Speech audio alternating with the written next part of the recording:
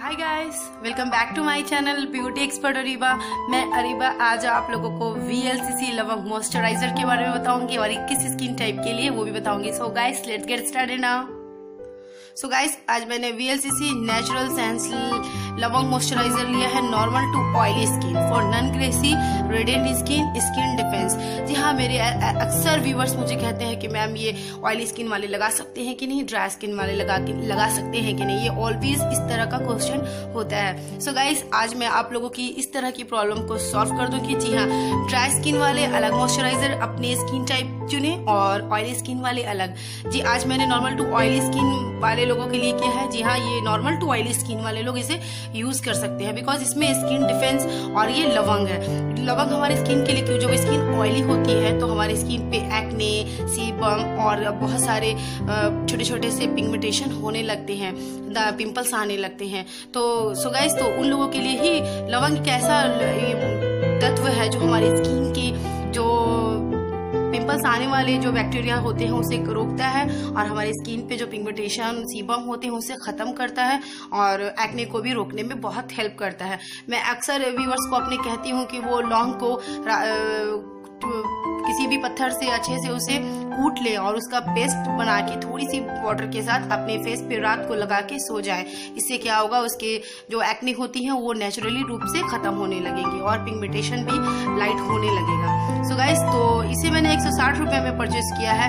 ये 100 हंड्रेड है। जी हाँ ये ऑयली स्किन वालों के लिए मॉइस्चराइजर हो गया और मॉइस्चराइजर ऑल सीज़न में लगाए। जी हाँ इसके बाद ये कमेंट नहीं आना चाहिए कि मैम ऑयली स्किन वाले लगा सकती कि नहीं। बिकॉज़ मैं ऑयली स्किन वाले लोगों के लिए भी बता दे रही हूँ, वो आपको हनी वाली मॉइस्चराइजर वीएलसीसी नेचुरल साइंस की वीएलसीसी नेचुरल साइंस की हनी मॉइस्चराइजर वो ड्राई स्किन वाले यूज़ करें। लवंग वाले ऑयली स्किन वाले। ये जो आप शॉप पे खरीदने जाएँगे तो शॉपकीपर से बोल सकते हैं। अब मैं नीचे डिस्क्रिप्शन में लिंक डाल भी दूँगी for oily skin and for dry skin आप वहाँ से परचेस कर सकते हैं। सो so गाइस और साथ में मैं इसकी रोज वाटर का भी रिव्यू जल्द कर दूँ कि वो भी मेरा फेवरेट है और इससे आपकी स्किन की हर प्रॉब्लम धीरे धीरे सॉल्व होने लगेगी। आप इसे नाइट में लगा के ज़रूर सोए।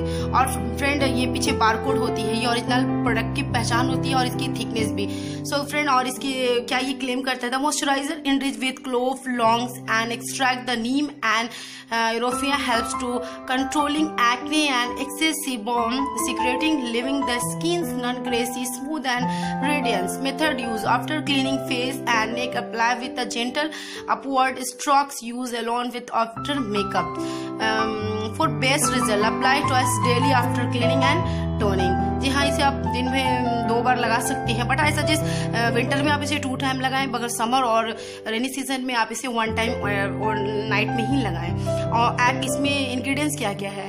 एनएंस सेटिविज pineapple extract four percent गैथैक्स sulphur power three percent media एंट्रास्टिक ये आप परचेज करेंगे तो पता चल जाएगा। And ayurvedic products for external use only इससे कोई साइड इफ़ेक्ट नहीं है मॉइस्चराइजर से। आप लगाएँ तो आपकी स्किन पे ठीक होगा। नहीं लगाएँ तो इससे कोई साइड इफ़ेक्ट नहीं होगा कि छोड़ देंगे तो कोई दिक्कत आने लगेगी। सो so गाइस मैं इसका थोड़ा टेक्सचर दिखा देती हूँ। इससे पहले मैंने V VLCC sandal cleansing milk का रिव्यू दिया है स्किन डिफेंस मैं इसका लिंक डाल दूँगी। आप चाहे तो वहाँ से भी इसकी वीडियो देख सकते हैं कि वो किस तरह का प्रोडक्ट है। सो so गाइस मैं आपको दिखा देती हूँ। इसका थोड़ा सा टेक्सचर ये व्हाइट क्रीमी है लाइक क्लिनजिंग मिल्क इसलिए मैं आपको दिखा रही हूँ कि क्लिनजिंग मिल्क भी इसी तरह का है। अपनी स्किन पे इस तरह से आप पूरी तरह से एब्जॉर्ब अच्छे से कर लें और कोई तरह का रब करते हुए ना करें धीरे धीरे स्लो करके नीचे की तरफ़ अपवर्ड मौसम में और सर्कुलर मौसम में चिक पे मसाज कर लें। इसे आपकी स्किन पे। और इसे लगाने के बाद बता देती हूँ फ्रेंड्स आपको एक अलग सी सेंसिटिविटी फील होगी अपनी फेस पे, एक झिझनाट टाइप लगेगा और इसकी स्किन में थोड़ी सी बैड लगेगी। कुछ लोगों को, कुछ लोगों को अच्छी लगेगी। तो इसलिए इसे घबराए नहीं, इसे अपनी फेस पे लगा रहने दें और ये कुछ दिन, थोड़ी देर बाद इसकी स्मेल और वो जो झंझनाहट है, वो खत्म हो जाएगी। तो आप अपने अच्छा फील होगा तो इसे डरने की कोई ज़रूरत नहीं। सो so गाइस अगर ये वीडियो मेरा अच्छा लगे तो इसे प्लीज़ लाइक करें और मेरे चैनल को सब्सक्राइब ज़रूर करें वीडियो वीडियो को शेयर करना बिल्कुल भी ना भूलें। अगर आप मेरे वीडियो को शेयर करेंगे तो मुझे बहुत ही ज़्यादा खुशी मिलेगी। और इससे रिलेटेड कोई भी क्वेश्चन हो तो आप मुझे ज़रूर कमेंट करें, मैं आपको, आप लोगों को हाफ़ एन आवर में आंसर करूँगी।